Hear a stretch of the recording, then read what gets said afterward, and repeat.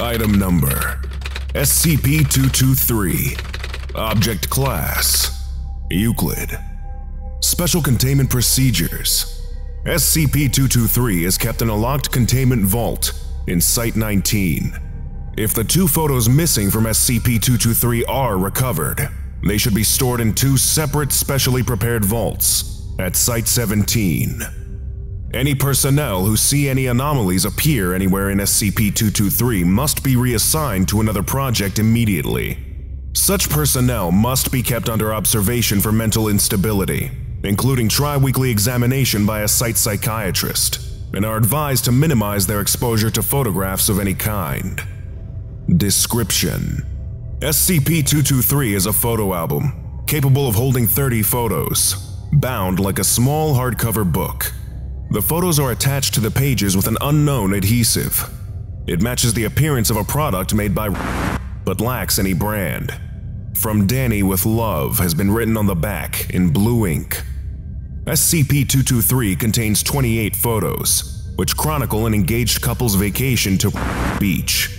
The final two pages of the album have been ripped out. The couple in the photos has been positively identified as E and L, who went on the vacation depicted June of 19. E and L died on June in a murder-suicide by E. E's suicide note claimed he found his fiancée in bed with another man and killed her. However, no evidence of such an affair was ever found. There is one other person who frequently appears in the photos of SCP-223, a Caucasian male with attractive and somewhat androgynous features. Designation SCP-223-1. Based on his behavior in the photos, he seems to be a friend of the couple. All attempts to determine the identity of SCP-2231 have proven fruitless. SCP-2231 does not appear in photos and recorded footage of SCP-223, although careful comparative analysis of the photos and data expunged. Occasionally, persons reading SCP-223 will see the likeness of their romantic interest in one or more of SCP-223's photos, replacing an incidental bystander. Independent observers can verify that the photos do in fact change. However, these anomalies are always discovered by the individual they most concern. SCP-223 seems to target readers who are in a stable, happy romantic relationship with these anomalies. SCP-223 apparently can only target one person at a time in this way. If the discoverer of the anomaly, hereafter, the target, continues to read SCP-223, their perceptions of the album's contents will change radically. While any other reader continues to see the original photos, the target will see an album of photos of their romantic partner interacting with an androgynous but attractive member of the target's sex.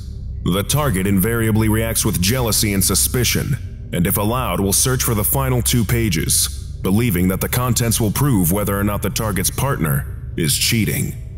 The effects of SCP-223 on a given target wear off completely within one week, unless the target is exposed to new photos, or SCP-223. At this point, the current target's love interest's likeness will vanish from the album, and the target can safely view ordinary photographs. A former target attempting to view SCP-223's photographs will see if not allowed contact with SCP-223 following the initial discovery, the target's perceptions of other photographs will also be altered. The nature of these alterations varies depending on the content of the photos, but the majority involve the inclusion of a humanoid, similar to SCP-2231. Pictures including both the target and the target's romantic partner seem to be the most psychologically damaging to view. Exposure to a sufficiently large number of photographs seems to cause a brainwashing effect in the target, creating a strong delusion of great danger that can only be resolved by returning the missing photos to SCP-223. This appears to be caused by a long succession of subliminal signals and traumatizing images, rather than by any actual psychic influence. Psych Report 223-6 Dr. Morris Interview Log Examiner, please be seated. How long has it been since your first exposure? Morris, um, about a week? Yeah, that's right, seven days. It's all kind of blurred. Examiner, how do you feel? Morris, sort of paranoid, edgy. like he's watching me from somewhere, somehow. Um, any update on the missing photos? Examiner, who do you mean by he? Morris, the man we call 2231. From the photos, he's. Examiner, yes? Morris, silence. Examiner, have you been exposed to any photos since your last visit? Morris, no. Examiner, good. What do you see here? Photo is of a grizzly bear drinking from a pool. Morris, um, it seems to be a photo of two bears mating. Examiner, very well. And this?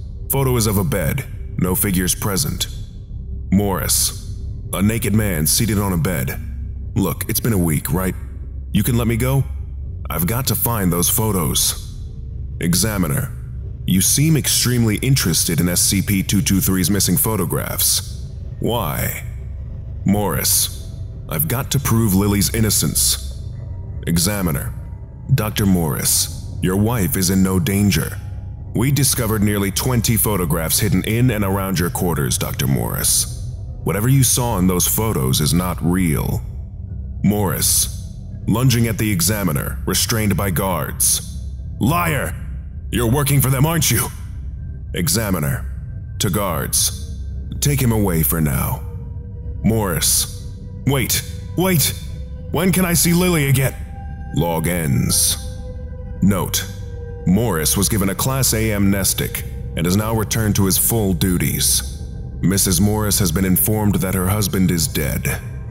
Addendum 2231 Further analysis of E's autopsy report indicates that several of the wounds found on his body could not have been self-inflicted. Therefore, suicide has been ruled out as a cause of death. There is no evidence of anyone other than E entering or leaving the scene of the crime for at least 24 hours before and after his death, although one of the walls. Lesson complete.